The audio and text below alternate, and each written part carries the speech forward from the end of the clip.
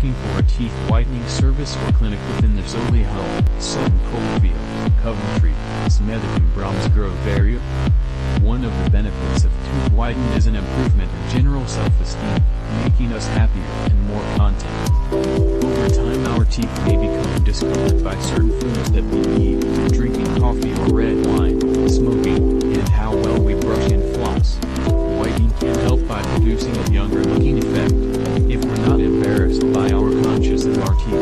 smile naturally and confidently. Smiling has been shown to improve mood by triggering the production of endorphins. Dental professionals have noticed that patients who've had their teeth whitened tend to show an improvement in their oral health care routine. Experiencing the advantages of whiter teeth often leads us to take good care when brushing, flossing, and seeing our dentist for professional cleanings. Since good oral health can improve your overall health and prevent many diseases, by far the most important reason to consider teeth whitening. To book an appointment at teeth whitening service or clinic within the Solihull.